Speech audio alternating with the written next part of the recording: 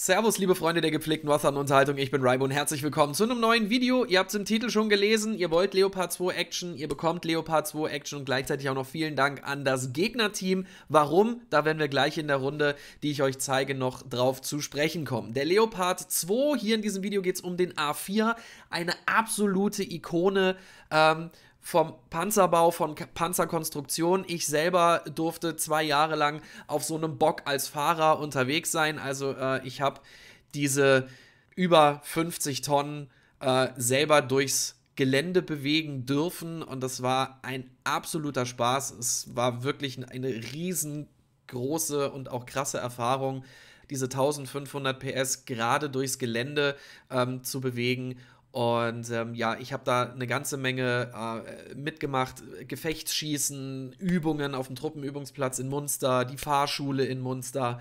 Ähm, also für diejenigen von euch, die selber in der Panzertruppe sind oder auch schon mal in Munster waren, ja, ihr kennt den, den Übungsplatz. Also da kann man schon wirklich richtig gut Dinge machen. Und ich muss ganz ehrlich sagen, es war wirklich ähm, eine geile Zeit auf dem Leopard 2A4 es hat sehr, sehr viel Spaß gemacht.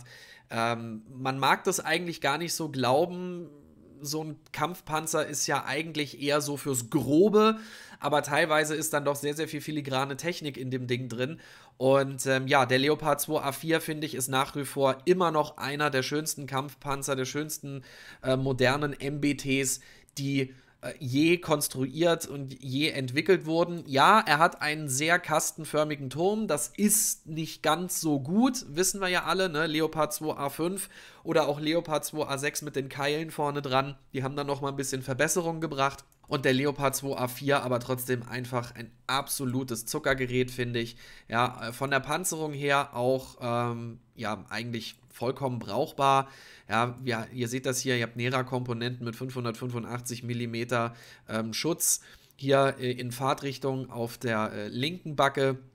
Auf der rechten Backe ist es ein bisschen weniger. Da habt ihr halt hier auch noch die entsprechende Visiereinrichtung und dahinter auch noch ein bisschen Panzerung. Also das Panzerungskonzept an sich, äh, Schwachstelle natürlich die Kanonenblende, aber man kann halt nicht alles so dick machen, ist klar. Unterwanne sowieso. Aber ähm, an sich dieses Fahrzeug einfach Zucker und wenn ihr wisst, wie ihr ihn zu fahren habt, dann ist das Ding einfach nur brutal.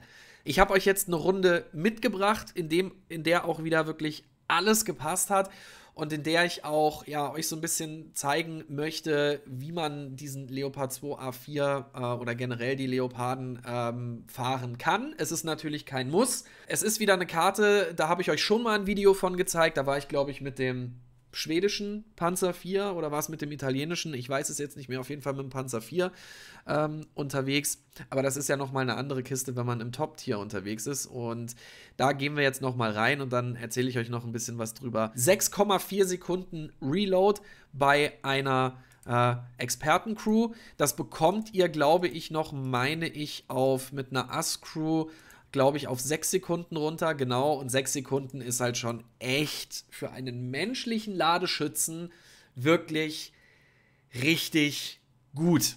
Man kann sich darüber streiten, ob ähm, diese sechs Sekunden quasi mit einem menschlichen Ladeschützen auf Dauer zu halten wären, aber so haben wir es nun mal im Spiel, so ist es. Und es macht einfach nur unwahrscheinlich viel Spaß. Und das gucken wir uns jetzt in der Runde, die ich euch mitgebracht habe, auch mal an.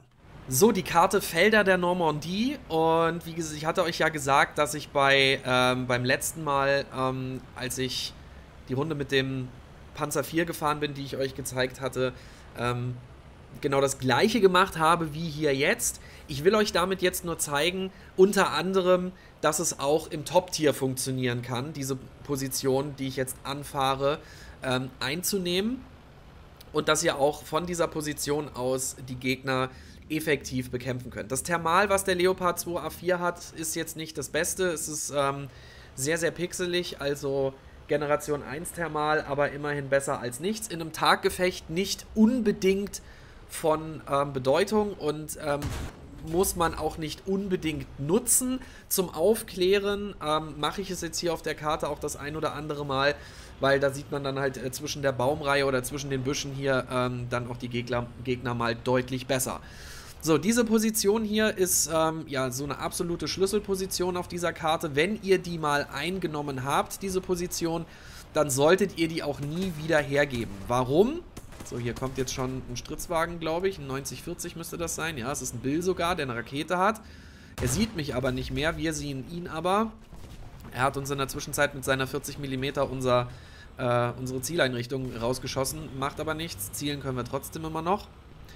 Diese Position hier, wie gesagt, solltet ihr nie wieder hergeben. Das bedeutet aber natürlich auch, ihr müsst auf die Minimap achten. Ich sage es auch immer wieder. Und ihr müsst darauf achten, wie der Gefechtsverlauf halt eben einfach ist. Ja, das heißt, äh, nicht nur die Map Awareness, sondern auch selber gucken, von wo können die Gegner kommen und die Anfahrtswege kennen und vor allen Dingen auch hören. Also man hört die Gegner tatsächlich schon, je nachdem, was ihr natürlich für ein Headset habt, hört man die Gegner schon relativ früh. Der große Vorteil an dieser Position ist, ihr könnt hier sehr gut Hull Down spielen. So, der Schuss war jetzt eher schlecht. Ihr müsst halt nur bei so einem Panzer wie dem Leopard 2 A4 darauf achten. Er hat 9 Grad Gun Depression. Ähm, andere haben 10 Grad. Dieses eine Grad merkt man teilweise, wenn man ähm, hier auf solche, auf solche, ja, sag ich jetzt mal, äh, kleinen Anhöhen ähm, hochfährt, kleine Erhebungen, ja, dass einem äh, die 10 Grad oder beziehungsweise die 9 Grad deutlich bemerkbarer sich machen als äh, bei 10 Grad. Aber sei es drum, wenn ihr das ein bisschen raus habt, dann könnt ihr damit natürlich deutlich besser arbeiten. Mit einem, sage ich jetzt mal, chinesischen oder einem russischen Fahrzeug ist diese Position von dieser Seite der Karte eher, ich sag mal, eher so semi-gut zu bespielen. Ähm, da müsst ihr euch dann schon Positionen suchen, wo diese kleinen Huggel hier äh, ein bisschen niedriger sind, weil die Gun Depression mit bei den russischen und chinesischen Fahrzeugen mit 4, 5, maximal 6 Grad ist halt wirklich eher schlecht. Ähm, das kann man natürlich selber auch ein bisschen kompensieren. Aber auch hier äh, achtet darauf, habt das im Hinterkopf. Ihr könnt nicht jede Position mit jedem Panzer gleich bespielen. Vor allen Dingen sind ähm, solche Positionen, gerade solche, solche Positionen, wo ihr an Hinterhangstellungen äh, spielen könnt, ähm, im Sinne des Rückwärtsgangs deutlich besser zu bespielen mit Fahrzeugen von den Amerikanern, mit Fahrzeugen von den Deutschen, aber auch mit, den, mit Fahrzeugen von Schweden, ja, äh, Finnland, wie auch immer, Großbritannien, weil die alle relativ, einen relativ, relativ guten Rückwärtsgang haben. Also gerade die amerikanischen und deutschen Fahrzeuge ähm, sind ja, was die Rückwärtsgänge angeht, ähm, schon ziemlich Zucker, das muss man so sagen. So, hier kommt jetzt der nächste Wahnsinnige. Und ihr seht hier ähm, auch an der Stelle, was ich meine. Wenn ihr euch jetzt fragt, äh, warum nimmt der eigentlich jetzt nicht A ein, sondern ist hier nur auf Abschüsse aus? Die Frage ist auf jeden Fall berechtigt, muss man auch dazu sagen. Aber auch hier müsst ihr natürlich gucken, Karte beobachten, ähm, Matchablauf beobachten, gucken, was macht das Team und dann den entsprechenden Zeitpunkt abwarten, wann ihr dann vorfahren könnt. So, hier vorne kommt, glaube ich, schon wieder der nächste. Ihr seht hier nämlich auch schon, ähm, wer es eben gerade noch nicht gesehen hat, vier Leute sind um A herum. Da guckt man natürlich und verlässt sich eventuell dann auch ein bisschen darauf, dass das Team dann nach A reinfährt, weil wir sind ja an der Stelle hier schon relativ weit vorne und können ähm, dafür sorgen, dass wir den Gegner blocken können und aufhalten können. Das heißt, der Gegner muss erstmal quasi an uns vorbei, bevor er dann in Richtung A kommt. Ja, wir sind zwar vielleicht jetzt, lass das hier, wir sind fast auf gleicher Höhe von A, aber lass das hier vielleicht 20, 30 Meter weiter vorne sein. Und äh, somit können wir hier an der Stelle äh, den Gegner schon, schon, schon viel, viel besser aufhalten. So, der Schuss war jetzt ein bisschen, naja, sage ich jetzt mal. Ich wollte ihm eigentlich den Geschützverschluss gleich schon ziehen. Der Geschützverschluss war hier an der Stelle von ihm orange. Als er geschossen hat, ist ihm dabei der Geschützverschluss kaputt gegangen und äh, wir konnten ihn hier jetzt in aller Seelenruhe rausnehmen. Ein bisschen Glück gehört halt auch mit dazu. Jetzt hat es unser Team geschafft, entsprechend ähm, A einzunehmen und ich glaube, es hat sogar, wenn ich es gerade auf der Minimap richtig gesehen habe, äh, ein Teammate von uns auch aufgepasst und hier direkt noch einen Gegner rausgeschossen, äh, der uns nicht gesehen hat. Ich weiß nicht, aber vielleicht war das noch ähm, das... Na, ich glaube, das war noch der, das, das ähm, Aufblitzen vom, äh, von dem Merkaba, den wir gerade rausgenommen haben. So, und hier seht ihr jetzt, ja, ich hatte es in dem Video mit dem Panzer 4 schon gezeigt, solche Schlüsselpositionen sind natürlich absolut Zucker. Und wenn das Gegnerteam das nicht so auf dem Schirm hat, beziehungsweise auch sich nicht anpasst im Sinne von, okay, wir müssen jetzt irgendwie sehen, dass wir denjenigen, der da steht, in diesem Fall jetzt wir, ähm, dass wir den umfahren und irgendwie versuchen anders zu kriegen, dann könnt ihr euch in so eine Position einfach reinstellen, da stehen bleiben, euch ab und zu ein bisschen bewegen, auf jeden Fall nicht immer in der gleichen Position stehen, weil sonst feuert vielleicht auch mal einer blind rein, so, da kommt der nächste Verrückte, der uns nicht mitbekommt. Konnten wir jetzt auch rausnehmen, 2210 Punkte, 8 Abschüsse.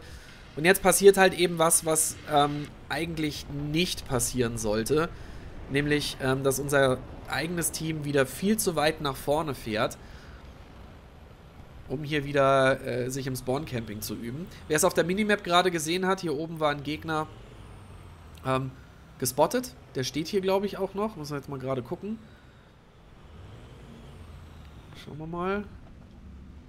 Mal mit Thermal ein bisschen durch die Büsche gucken, ob da irgendwie, ob man irgendwie eine Wärmesignatur sieht. Ja, da vorne wird er beschossen. Da steht er. Ist ein ähm, TCM. So, zack. Genau da rein. Wieder rückwärts fahren und ihr seht es ja auch schon wieder, ne? Also, wir sind ja schon wieder recht dezimiert. Wir haben zwar, zwar ein paar Flieger in der Luft, aber trotzdem macht unser Team wieder genau das, was man eigentlich nicht machen sollte, nämlich dann nach dem Cap sofort nach vorne rommeln äh, zum Gegnerspawn und äh, den dann rausnehmen, äh, beziehungsweise den dann bekämpfen. Das macht halt einfach relativ wenig Sinn. Zumindest, ne, wenn man es so will, äh, weil ich höre schon wieder, die, wieder so ein paar, ja, nee, überhaupt nicht und bla. Und das ist halt eben der, der natürliche Lauf der Spielrunde. Ja, das mag ja durchaus so sein, aber ihr wisst halt eben auch, der Spawnschutz der Gegner ist, glaube ich, weiß ich nicht, 20 Sekunden, 24 Sekunden, bin mir jetzt nicht ganz sicher. Ähm, und dann, stehen, dann steht man selber halt vorm Spawn und der Gegner ist gespawnt und hat ähm, Sicht auf einen und man selber kann ihn halt nicht rausnehmen, weil wenn er stehen bleibt, er halt eben noch halt eben um diese 20 Sekunden oder 24 Sekunden Spawnschutz hat. Ja, und dann passiert nämlich genau das, was jetzt hier passiert ist. Ne? Wir waren vorher zu fünft, jetzt sind wir noch zu dritt, zumindest auf dem Feld. Und ähm, alle, die jetzt hier vorgefahren sind, sind alle rausgenommen worden, bis auf ihn hier vorne, glaube ich. Ähm, ja, und wir stehen hier nach wie vor immer noch und äh, verteidigen A nach wie vor immer noch erfolgreich. Das Einzige, was wir halt eben tun, wir pushen nicht nach vorne, sondern wir lassen den Gegner kommen. Ähm, wir haben ja auch keine Not. Der Gegner muss ja kommen. Wir haben A eingenommen, was für uns bedeutet, okay, wir können hier relativ ruhig in der Gegend rumstehen. Jetzt ist hier noch eine A10, da müssen wir ein bisschen aufpassen. Wenn die uns so eine Laser-Guided Bomb auf den Kopf schmeißt oder generell irgendwie eine Bombe auf den Kopf schmeißt, ähm, ist die ganze Chose dann hier äh, gleich auch mal vorbei. Was man jetzt halt auch dazu sagen muss, ähm, der Gegner hat es jetzt auch nicht wirklich bisher nicht wirklich clever angestellt. Also es wäre dem Gegner, glaube ich, deutlich besser ähm, gelungen, wenn sie oben gespawnt wären und dann von der Zeppelin-Halle hier runter zu A gekommen wären. Dann hätten sie uns nämlich auch ein bisschen umfassender hier äh, umgehen können. Dann hätten wir ein Problem gekriegt. Und ich glaube, das ist jetzt einem, ja genau, einem ist es gelungen. Hier, dem T72 M1 der hier steht. Grüße gehen übrigens raus an No Aim, wenn ein No Aimer gegen den anderen spielt. Und er hat es an der Stelle jetzt genau richtig gemacht. Ja? Also er kam irgendwo oben von der Zeppelin-Halle, hat sich halt eben durchgemogelt. Und wir sind jetzt hier an der Stelle ähm, einfach auf der Karte verteilt. Ich habe mich jetzt nochmal nach rechts abgesichert. Habe nochmal in den Wald reingeguckt und geschaut, kommt da jemand, sehe ich da jemanden, um halt hier dann in A reinzuschauen und ähm, A dann hoffentlich verteidigen zu können. Ich mache jetzt hier allerdings einen kapitalen Fehler. Das werden wir gleich sehen. Denn er hört natürlich, von wo ich komme. Da ist er. So. Und er hat mir, er hat eine Millisekunde früher schießen können. Eine Millisekunde. Und hat mir gleichzeitig Kommandant und Richtschütze rausgenommen. Und hat mich natürlich folgerichtig einfach rausgepusht äh, und mir dann an der Stelle natürlich ähm, vorne quer in die Wanne reingeschossen und äh, mich dann damit natürlich rausgenommen. Also alles richtig gemacht hier an der Stelle. Ja, hat er gut gemacht. Und das ist ja genau der Punkt, ja. Ähm, er hat auch natürlich genau gewusst, ah, klar, er kennt die Stelle, wo er hinschießen muss und natürlich ähm, ist es auch so gewesen, dass, ich hatte es ja euch vorhin gezeigt, hier ist es ein bisschen, auf der Seite ist es ein bisschen kleines, bisschen schwächer gepanzert. So, und dann ist die Granate natürlich da, oder die, die, das Geschoss natürlich auch noch so durchgegangen, ähm, dass man hier einfach, ja, dass er hier einfach äh, unseren Kommandanten und unseren Richtschützen gleichzeitig rausgenommen hat und wir gar nicht mehr in der Lage waren zu schießen. So, jetzt müssen wir natürlich sehen, dass wir hier äh, nochmal so schnell wie möglich nach A reinkommen, müssen aber auch aufpassen, dass der T-72 und nicht, uns nicht nochmal beschießt. So, ich glaube, da fährt er. Ja, genau, da fährt was. Zack. Gab eine Abschusshilfe, jetzt ist er raus. Schön. 2787 Punkte und wir haben es jetzt hier nochmal geschafft, glücklicherweise ähm, ihn hier rauszunehmen. Es steht aber noch einer in A, deswegen können wir hier auch nicht cappen und zwar ist es der, der 9040B hier vorne. Der kriegt jetzt mal, der ist jetzt gespottet, kriegt jetzt von mir Artillerie. Der T-72 hier rechts von uns pusht ihn. Ich habe mich da jetzt mit angeschlossen. Er hat ihn. Jetzt können wir A zurückcappen. Deswegen setze ich hier jetzt auch zurück, um halt eben in der Deckung ähm, der Häuser bleiben zu können.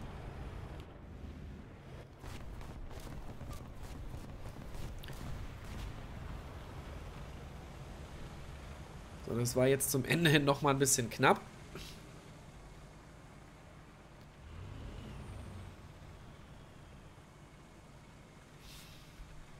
Gucken, wie viele Gegner noch drin sind. Ja, ungefähr die Hälfte vom Team ist noch da. Äh, bei uns sind schon ein bisschen mehr raus. Für die Nuke reicht es noch nicht. So, er ist jetzt rausgebombt worden. Ich weiß jetzt nicht, ob das die A10 gewesen ist oder eine A4. Weiß ich jetzt nicht mehr genau. Ich glaube aber, es war die A10. Glück gehabt. Dass es, sorry, dass es ihn erwischt hat und nicht uns.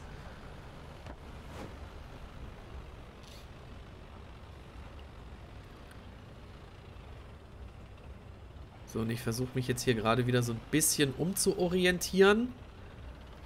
Versuche hier ein bisschen Raum zwischen mich und die Gegner zu kriegen. weil ich hier ganz gut hinter dem Haus stehen und die Anfahrt beobachten kann, ohne dass ich eventuell sofort als erstes gesehen werde. Zack. Das meinte ich nämlich. Dann rückwärts raus. Und ähm, gib ihm. Jetzt ist wieder einer in A. Mal gucken, wo der steht. Wer ist es?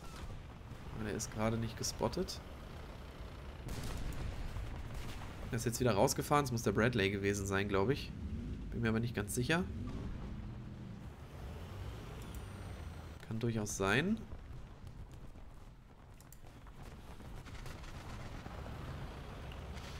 Also Double Ace ist schon drin. Auch hier reicht es für die Nuke noch nicht ganz. Aber würde zeitlich sowieso keinen Sinn machen. Weil bis wir in der Luft sind, ist die Runde vorbei. Insofern an der Stelle brauchen wir gar nicht mehr in die Nuke reinzugehen. So, jetzt kommt hier noch der nächste Bradley. Er hat nicht gesehen, von wo er beschossen wurde. Wir warten den Reload ab. Er hat sich eingenebelt.